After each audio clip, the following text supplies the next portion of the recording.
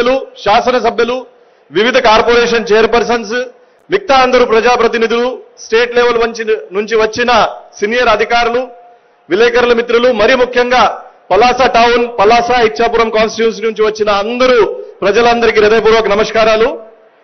ఈరోజు మన దగ్గర ఒక ఉడ్డానం ఏరియాలో మన అందరికీ తెలిసిన విషయమే కిడ్నీ ఏదైతే సికేడి క్రోనిక్ కిడ్నీ డిసీజ్ వల్ల కొంతమంది ఇబ్బంది పడుతూ ఉంటారు వాళ్ళ గురించి ఒక ప్రివెంటివ్ కేర్ లాగా హీరమండలం రిజర్వాయర్ నుంచి దాదాపు నూట నూట ముప్పై కిలోమీటర్ దూరం నుంచి సర్ఫేస్ వాటర్ తీసుకువచ్చి ఈ మొత్తం ఏరియాలో ఎనిమిది మండలాలు తర్వాత ఎయిట్ హండ్రెడ్ విలేజెస్కి వాటర్ ఇవ్వడం జరుగుతుంది. దానికి ఇనాగ్రేషన్ గౌరవ ముఖ్యమంత్రి గారు చేశారు.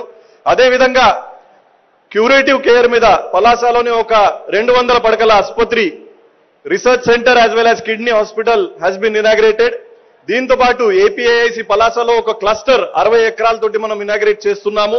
అదేవిధంగా శ్రీకాకుళంలో హెచ్చర్రాలో ఉన్నటువంటి అంబేద్కర్ యూనివర్సిటీలో ఒక బాయ్స్ హాస్టల్.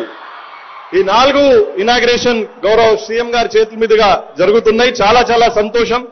సరే నాలుగు ఇనాగ్రేషన్స్ మరి ముఖ్యంగా కిడ్నీ విషయంలో water project seven hundred crores తోటి మనం కట్టినటువంటి and kidney research hospital Uddanam ఏరియాలో ఉన్నటువంటి కిడ్నీ పేషెంట్స్కి ఇది ఒక చిరకాల ఆశ్వాసనంగా ఒక చిరకాల ఒక భరోసాగా ఉండిపోతుంది అని ఏమాత్రం సందేహం లేదు సార్.